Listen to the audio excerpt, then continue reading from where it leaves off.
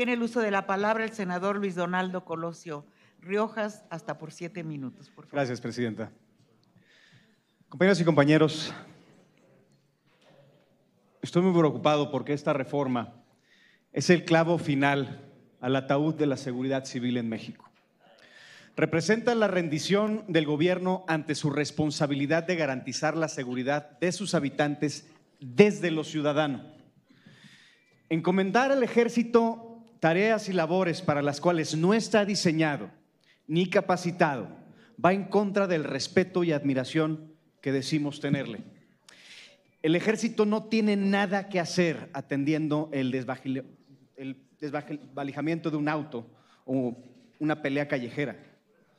Hacer a un lado a nuestros policías locales para recargar toda la responsabilidad de la seguridad pública a las Fuerzas Armadas tiene serias y muy delicadas implicaciones por un simple hecho innegable.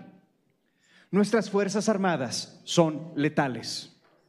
Están magistralmente entrenadas y capacitadas para disparar, a matar y abatir cualquier amenaza a la seguridad nacional. No para prevenir, no para disuadir. Y lo hacen con una gran efectividad. A ver, y tampoco tendría por qué ser de otra forma.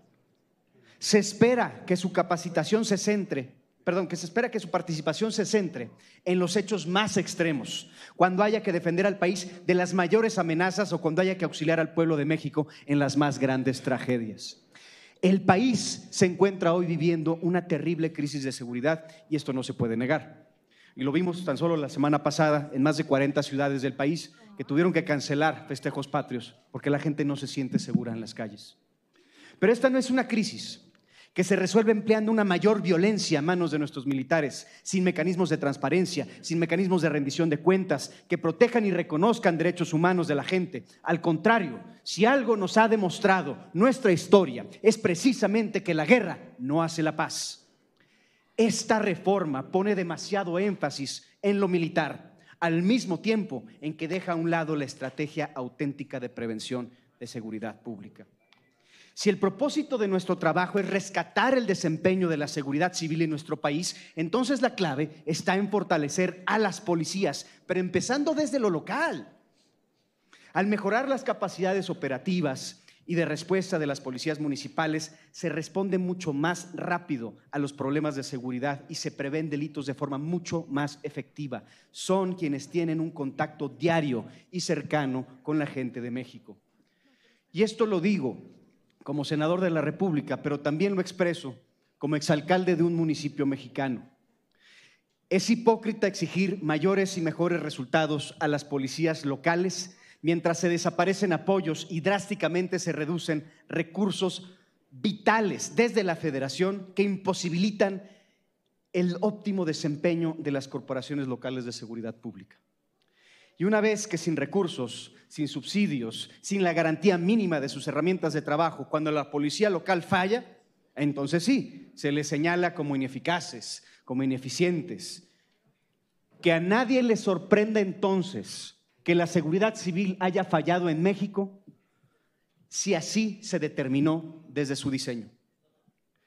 Sí, es momento de poner el tema de legislar para mejorar la seguridad pública en nuestro país, sí, pero no de esta forma, porque la prevención y la reacción a estos delitos, a los delitos de pie de calle, le corresponden a nuestras policías locales, donde es también una auténtica, muy necesaria tarea de coordinación entre las diferentes corporaciones de seguridad de cada nivel.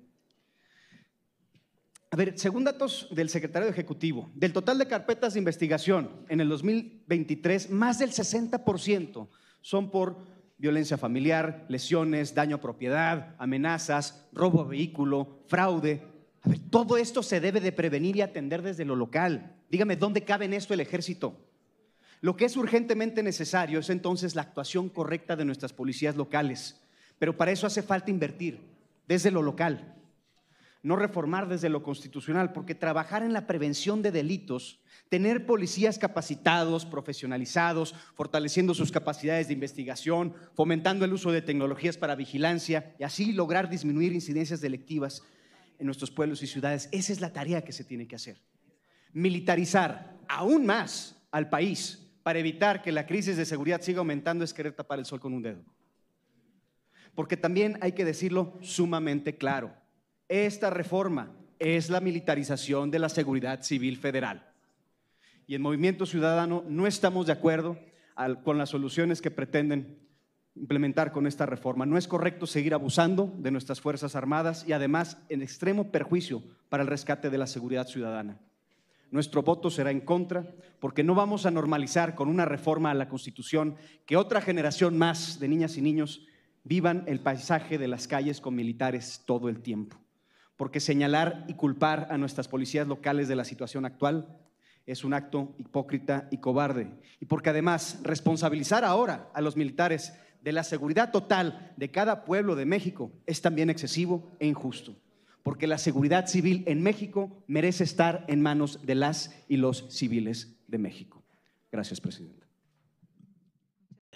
Pedí la palabra para, para rectificar hechos, porque el discurso ha sido vehemente, pero me parece que se ha faltado la verdad en algunos datos. A ver, el primero. Vehemente, vehemente, vehemente. ¿Qué se oyó? Oh, no, no, vehemente. A ver, primero, hay un libro muy famoso, clásico, escrito en los años 50 de Hoff, Cómo mentir con estadísticas. Y una de las trampas, digamos, más conocidas es escoger los periodos. Pero vamos a ser objetivos. Antes de la militarización, que fue el sexenio de Fox, hubo 60 mil homicidios. Arranca con Calderón la militarización, nos vamos a 120 mil homicidios. Continúa la militarización con Peña, nos vamos a 160 mil homicidios. Se redobla la militarización durante este sexenio y vamos a rebasar los 200 mil homicidios. ¿Cuál disminución? Punto número uno. Punto número dos. En el sexenio de Calderón, 18 mil personas desaparecidas.